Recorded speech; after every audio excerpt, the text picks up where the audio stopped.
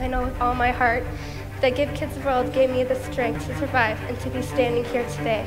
This is the 25th anniversary for Give Kids the World. This is an intense show which has a lot of different moving parts. Peabody is home to the gala. I just can't imagine it being anywhere else. For our goal is to get 2,000 people to the event and to generate a million dollars. We'll see you on June 1st. Here towards this corner and speak out in this direction. Projectors underneath the stages and put crystal clear acrylic stages on top. Really wanted to give everybody kind of a wow effect. The biggest event of the year. All, everything's working on by end of Wednesday. One, Thursday's tweak. Three, Whoa. five, six, seven, eight. One. Getting ready for showtime. It's going to be pretty incredible.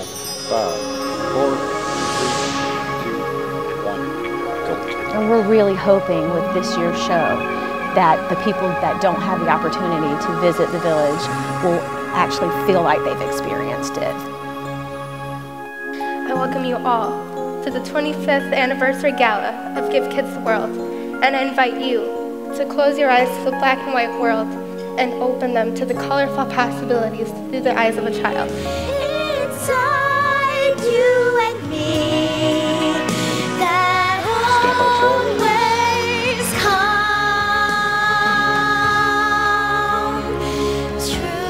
Let the go. Well, we're here to celebrate tonight because there was a man who dreamed of making dreams come true for some very special children who had to put aside their dreams of what they wanted to be when they grow up because now they dreamed of just being able to grow up.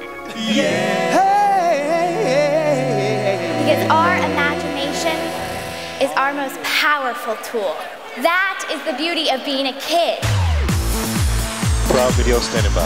Stand by IMAG Live. If you want to help us make some of those dreams come true, just hit that button. Travel operators confirm when you're ready with your confetti cannon. Go, go! One minute, one minute remaining. This will link right into 120.